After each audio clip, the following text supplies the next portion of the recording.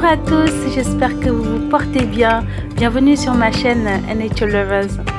Saviez-vous que la pêche commerciale à la baleine, théoriquement interdite depuis 1986 au Japon, va officiellement reprendre? Le Japon a annoncé son retrait de la Commission baleinière internationale et défie ouvertement les défenseurs des cétacés. Cette annonce a choqué de nombreux pays et soulevé l'indignation de nombreuses associations de défense de la biodiversité. Certaines organisations écologistes ont aussitôt réagi, condamnant avec force cette nouvelle. Cette consommation de la baleine a une longue histoire au Japon, où elle a été chassée pendant des siècles. En 1950 déjà, le Japon était l'un des plus grands chasseurs de baleines au monde, et ceci dans le but d'apporter des protéines animales aux habitants du pays après la Seconde Guerre mondiale. À l'apogée de la chasse, environ 2000 baleines étaient débarquées au port chaque année. C'est vraiment énorme. Le Japon a prétexté faire des recherches scientifiques leur permettant de poursuivre la pêche mais beaucoup savent qu'en réalité, c'est une chasse à la baleine masquée dans un but commercial. En 2014, la Cour internationale de justice l'a ordonné de mettre fin à sa chasse régulière dans les eaux antarctiques, rejetant ainsi l'argument de ses recherches scientifiques.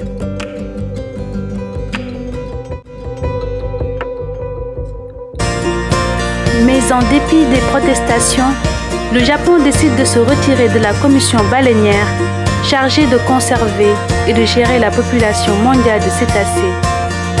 Leur décision est prise. Ils veulent finalement reprendre la pêche commerciale dès juillet 2019. En réalité, l'archipel n'a jamais complètement cessé cette pratique. Il renoue publiquement avec la pêche à des fins commerciales, comme cela se fait d'ailleurs en Islande et en Norvège commercialisation pourtant interdite autour de la planète en vertu du moratoire international adopté en 1982. Il faut dire qu'une large part de la population nippone ne comprend pas qu'on veuille la priver d'un de ses mets préférés. S'interrogeant sur le fait qu'ils ne peuvent plus manger ce qu'ils avaient l'habitude de manger depuis la fin de la Seconde Guerre mondiale. Mais ce que cette population ignore, c'est qu'harponner ces cétacés en pleine mer est une façon brutale de les tuer. Même s'il y a une abondance de cette espèce, même si cette pêche est limitée à certaines zones afin de ne pas épuiser les ressources, cela ne doit pas être une raison d'infliger des souffrances et de donner la mort de façon cruelle à des êtres intelligents, sociables et gentils nous n'assistons pas vraiment à de très beaux spectacles.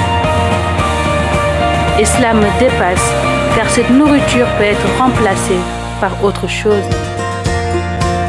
C'est très alarmant et leur gouvernement doit revoir leur position.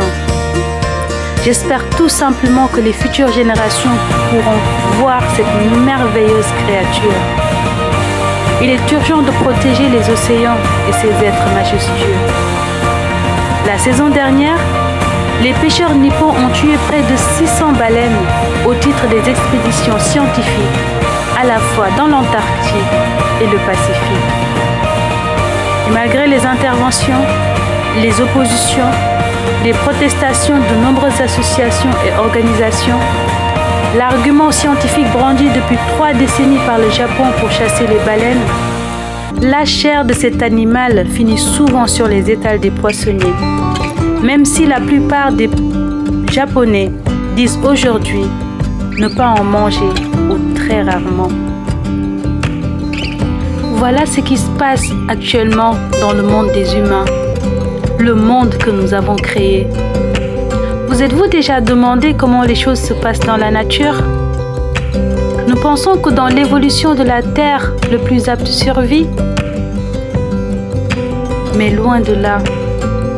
Cependant, dans la nature, toute espèce qui surexploite les ressources dont elle dépend pour se nourrir se voit tôt ou tard éliminée par la sélection naturelle parce qu'elle perturbe l'équilibre.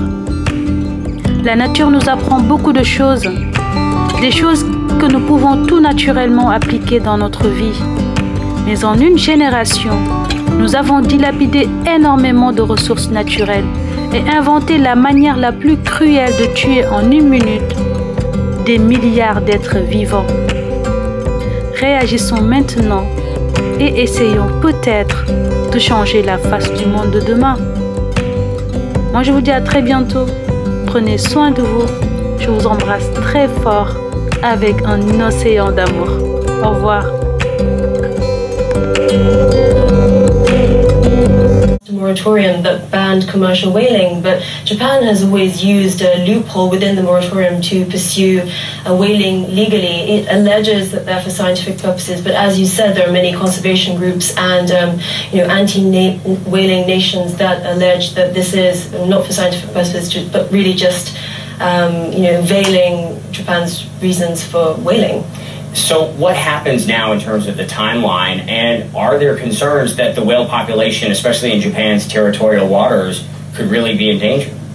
So Japan now wants to resume whaling next July, commercial operations, um, and they allege that this will be of the so-called um, whale populations with healthy numbers. So for now, we can't really be sure, um, you know, if how much of an impact commercial whaling operations will have on these so-called healthy um, populations. But it's true that you know this move is still drawing a lot of criticism from conservationist groups. That's very closely. CNN digital producer Emiko Josica joining me here in Hong Kong. Thank you.